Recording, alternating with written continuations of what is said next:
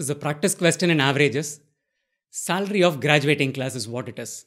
It's a beautiful question. As we solve this question, we'll learn something very, very important about how to work with numbers that are not necessarily friendly when it comes to calculation. We'll sum up this entire discussion with certain properties about averages of numbers. Let's get started with this question. The average salary of a graduating class of 30 students is $8420 and that of another class comprising 20 students is $8438 per month. What we need to find out is the average monthly salary of students of the two classes taken together. Conceptually, this is a very simple question. All that we are expected to find out is the weighted average of these two salaries. We'll use the standard framework to crack this. Let's set up the standard framework. First class, number of students 30. Their average salary is equal to 8420. So sum of their salaries is equal to number into average, which is 30 into 8420. Class 2, number of students is 20. Average salary is equal to 8438. So sum of the salaries of students of class 2 is equal to 20 into 8438, their average. The weighted average or the average of the salaries of the two classes taken together, total number of students is 30 plus 20, which is equal to 50. Sum of their salaries is sum of these two numbers. So we add these two values divided by 50, we'll have the average. Can we do it? Yes, we certainly can do it. The only thing is, this is a stumbling block in terms of the kind of numbers that we'll be working to do the calculation. Is it impossible? Certainly not. But we'll look at an alternative approach to make this entire calculations look friendly. Let's look at that in the next slide. This is the calculation that we have to do. I'm going to break these numbers and write it a little differently. 30 into 8420, I'm going to write it as is. Plus 20 into the 8438, I'm planning to split it as an 8420 plus an 18 divided by 50. So the initial calculation that we'll have to do still holds good here. Let's expand the right hand side term in the numerator. This will be a 20 into 8420 plus 20 into an 18. So this is 30 into 8420 plus 20 into 8420 plus 20 into 18. I'll do that calculation right away, which is equal to 360 divided by 50. Sum of these two numbers, 30 into something plus 20 into something is going to be 50 into that thing. So this is the sum is going to be equal to 50 into 8420 plus 360 divided by 50. This part of the calculation is now very easy. 50 into 8420 by 50 will leave us with an 8420. 360 by 50, 350 by 50 is a 7. We left with a 10. 10 by 50 is a 1 by 5, which is a 0.2. So the answer is a 7.2. So the average is equal to 8427.2. So this was far easier than computing this value 30 into 8420 plus a 20 into 8438 and then dividing it by a 50. Quickly see this entire thing in a printed form. We basically split this 8438 into 8420 plus 18. Now what we'll do is we'll expand this and write it as 20 into 8420 plus 20 into 18. This part, this entire thing in blue becomes 50 into 8420. That divided by 50 is an 8420. 20 into 18 is a 360 by 50, which is a 7.2. So the final average is 8427.2. Is this the only way of going about it, or do we have something better? The same can be achieved without actually writing all of these things. How are we going to do it? What we'll do is we'll subtract the smaller number. In this case, 8420 is smaller of these two averages from both the numbers and then compute the weighted average using the standard framework. Finally, after having got that intermediate weighted average, we'll add this 8420 to it to get the final answer. Let's do it in the next slide and check out what it results in. First class, 30 students.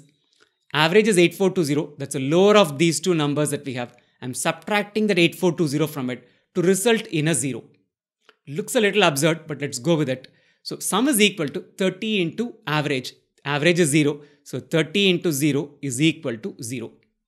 Class 2, there are 20 students. I'm subtracting 8420 from 8438. So the average works out to 18. Their sum is equal to number into average, which is 20 into 18, which is equal to 360. Total of 50 students in two classes taken together. Their salary, sum total of their salaries right now is 0 plus 360, which is equal to 360. What is going to be the intermediate average? This 360 divided by 50, which we know is equal to 7.2. We computed it in the last slide. The final averages, we're going to be adding this 8420 to the 7.2. That is equal to 8420 plus 7.2, which is equal to 8427.2. See it in the printed form. So we subtracted 8420 to get the sum of the first class salary to be equal to 0. Second class, the sum is equal to 360. So sum of the salaries of both the classes taken together is 360 divided by 50, which is equal to 7.2. Intermediate average is 7.2. Add back whatever you subtracted to get the average, which is equal to 8427.2. We'll summarize this entire finding with two inferences and an example to go with it. Let's look at set S, which has got the five elements 1, 2, 3, 4, 5. The average of these five numbers is 1 plus 2 is a 3, 3 plus 3 is 6, 6 plus 4 is 10, 10 plus 5 is 15, 15 by 5 is equal to 3. Take this result right now, we'll prove why it is working in a subsequent video when we are looking at arithmetic progression. If numbers are in an AP, in this case they are in an AP because the common difference is equal to 1. The middle number is going to be the average. So 3 will be the average. We can spot arithmetic sequences in your question go straight to the middle number and get to the answer. Don't waste time computing the average by finding the sum. So in this case, the average is equal to 3. I'm going to make a change to each element of the set. I'm going to add 5 to each element of the set to get a new set called T. So if we add 5 to this, it's going to become 6. 5 to this, it's going to become a 7, 8, 9, 10. These 5 numbers are also in an AP, so the middle number is the average. So in this case, the average of set T is equal to 8. Average of set S was a 3. Average of set T is an 8. How did we achieve arrive at the set T? We got each term of set T by adding 5 to each element in set S. If you add each element of a set by a k, the average will go up by the same k. That is inference number 1. We'll read it again. If a constant k is added, you can even subtract because adding a negative number is subtracting. If a constant k is added or subtracted to each term of a data set, the average will also correspondingly increase or decrease by the same value k. Didn't you realize the same thing in the previous question? We subtracted 8420 from everyone's salary, computed an average. So the average went down by 8420. And subsequently, what did we do? We added that 8420 back. It's as good as adding 8420 back to each one's salary. That is why the last question, the last method, worked the way it worked. Will it work for multiplication and division the way it worked for addition and subtraction? Let's just check it out. Don't take my word for it. I'm going to form a new set U. This set, I'm going to get this set by multiplying 2 to each element of the set. So set U is going to comprise 2, 4, 6, 8, 10. These terms are also in an AP, now with a common difference of 2. The middle term 6 is the average. Average for set S is 3. Average for set U is twice that, which is 6.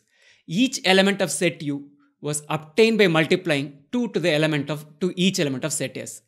So if you multiply or divide each element of a set by a k, the average also correspondingly becomes either k times or 1 by k times the original. Quickly these two inferences again. If I add or subtract a k, the average also goes up by a k or comes down by a k, provided I do this to each element of the set. Similarly, if I multiply or divide each element of a set by a k, the average also gets impacted by the same way. The average is getting multiplied by a k or it will get divided by a k. What else can you do to prepare for the test? Good question. You can always start by subscribing to this channel and signing up for the most comprehensive and affordable GMAT Quant course that's available online at gmat.wizako.com.